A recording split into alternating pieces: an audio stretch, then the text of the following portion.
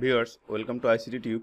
Today I'll show how to make your pen drive multi-boot. I mean, how to make your pen drive bootable with Windows 7, 8, 10 or Linux operating system.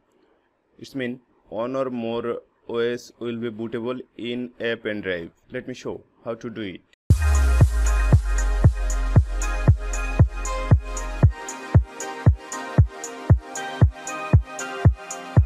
Viewers, as I said earlier, I'll show how to make your pen drive bootable, mean multi-bootable. So you need the booting software which uh, I use WinSetup and Windows 8.1 ISO, Windows 10 ISO and Linux Mint 7.3 ISO. Let's follow the step. At first you have to extract the WinSetup. Right click and extract here. It will take few seconds only. Yeah, already extracted. This is the extracted file. Open it. You can see two file and, and one folder here. We no need to go to folder. Uh, we need these two file. For 32 bit os this will be applicable. And for 64 bit this will be applicable. My pc is 64 you can check out system type 64 bit operating. So i'll use the last one. Right click run as administrator. And pressure yes to run it. Press on yes to run it. And minimize the file explorer. You can see so many options here.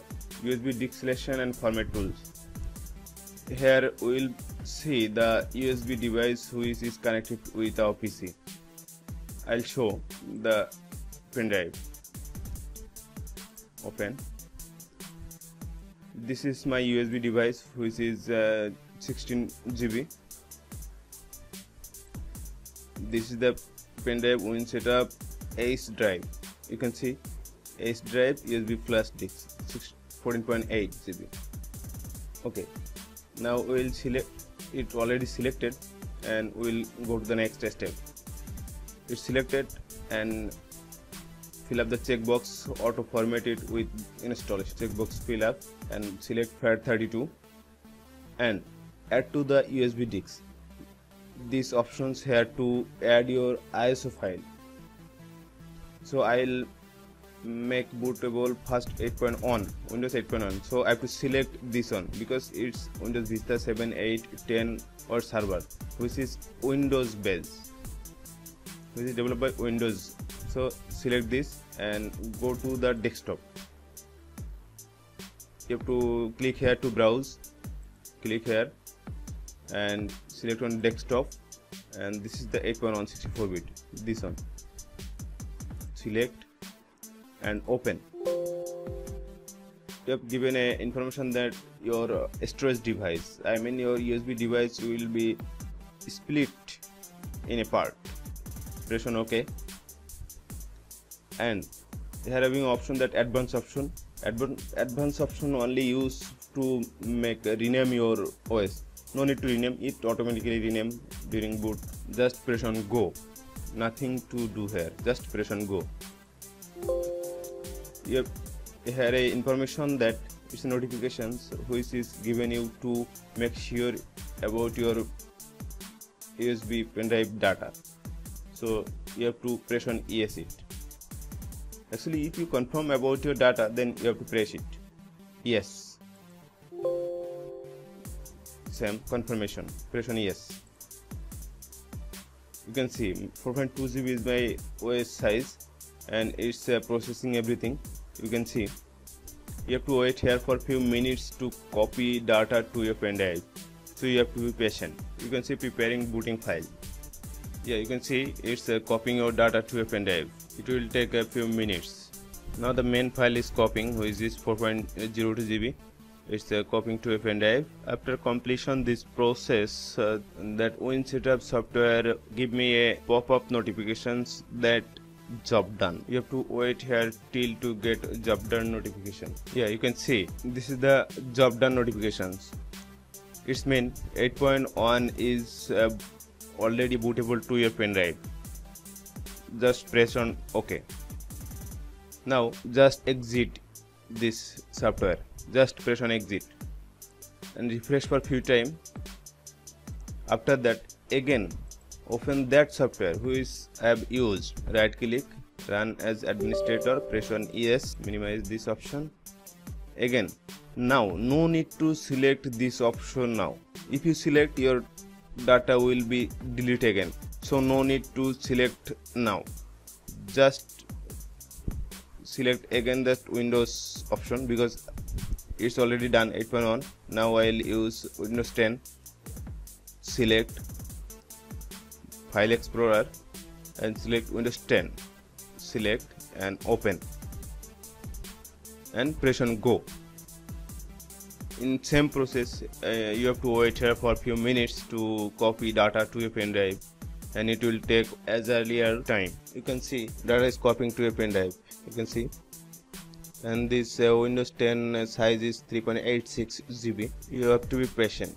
You can see it's um, almost done and it will give you pop-up notifications that job done.